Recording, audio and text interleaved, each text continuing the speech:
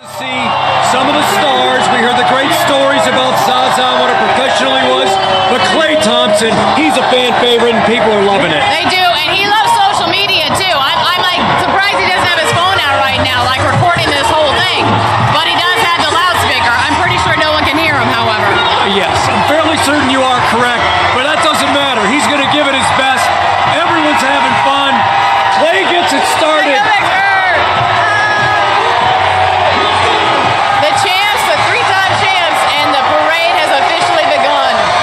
Mychal Thompson in the back of that, he's having some fun as well.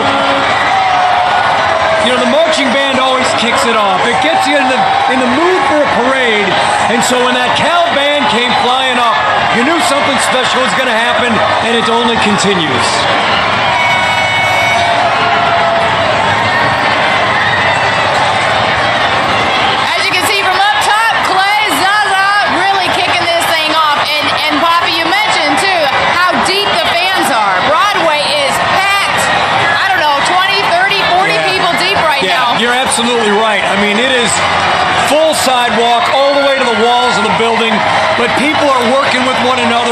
Sure everyone gets a good view, and we're getting a really great feel for what can happen at one of these great parades in Oakland. And I know some uh, pretty sweet uh, cars, rides, I should say, are going to be rolling through with some of the Warriors ownership group. Uh, of course, the coaches are all going to be on one bus.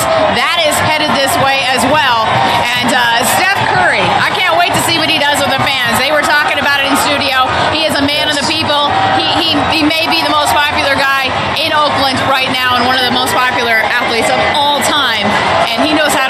and touch somebody. And I My- expect him to do the same today. My goal is for him to reach out and touch us, Kelly.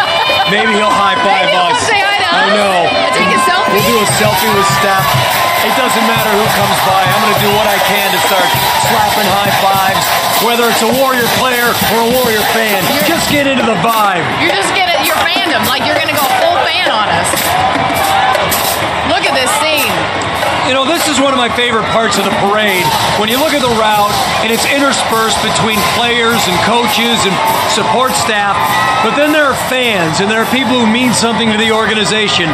And nothing says parade in Oakland like seeing the fans walk up and down the, middle of Broadway because it really is part of the experience for the entire Warrior Brigade. Warrior Nation, as Mr. Fab said earlier, he said it's not just Oakland, it's a regional thing, and it's great to see everyone coming together. It's Bay Area, it is Dub Nation, and they were out in full force so early this morning. Like we said, some guy got here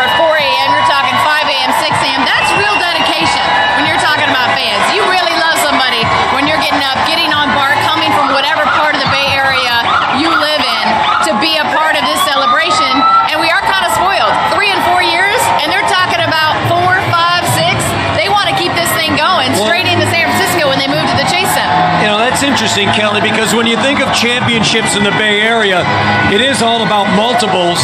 You look back in the 70s when you had the Athletics winning three in a row, those great 49ers teams that ended up winning five overall. And then you've got the three with the Giants, and now three here with the Warriors. So when you win them, you win them in chunks, Kelly. and now we're looking for a three-peat. We got back-to-back. The next thing is a three-peat. As we know, the Warriors tied the Chicago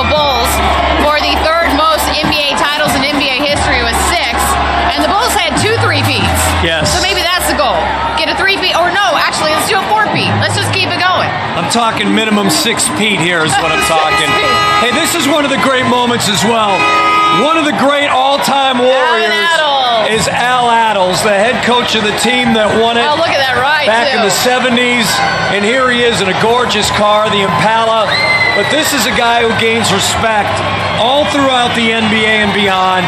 And it's great to see Alvin Attles right here in the heart of the parade and fans loving him. so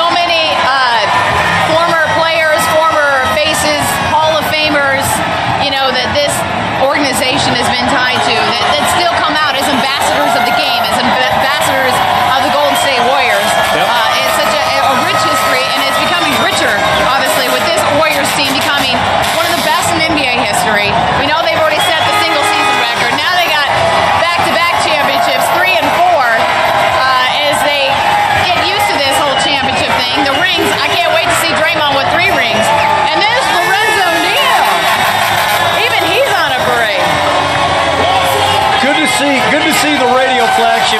hanging out, having a good time. 95-7 the game, doing a great job. Uh, but we've got more and more Warrior personnel now. You've got the dance team walking through downtown Broadway, so everyone is going to be recognized here, and I think that's just part of the festive atmosphere. Fans are entertained. That's another part of going to a Warrior game. Entertainment from the time you walk into Oracle till the time you leave. And of course, the uh, lovely Warrior dancers are all part of that. I want to get on one of these party right here. Where they're they're having to do some of the work though. They're pedaling. all You got to work through. too hard. You got to work. Okay, our next player bus is coming through. Shaun Livingston, David West, the two wise men. Yes, The that's two a good wise call. men. Yeah, Andre. Iguodala needs to be there to be the three wise men. Yes, But we'll go with Livingston and D West,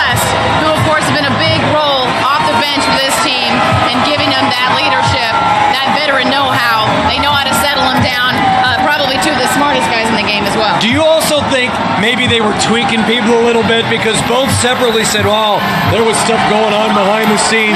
Steve Kerr diffused all that stuff, but I could see a couple of veterans like that doing a really good job of just giving people little nuggets to let them chew on it Oh for a little bit. That's you the kind of vets they are. They got to keep things interesting. As we know, this uh,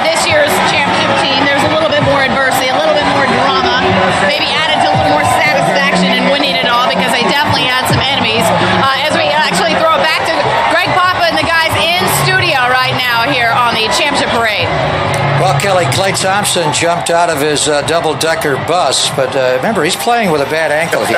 we, we, we did see him saintly medicating Yes.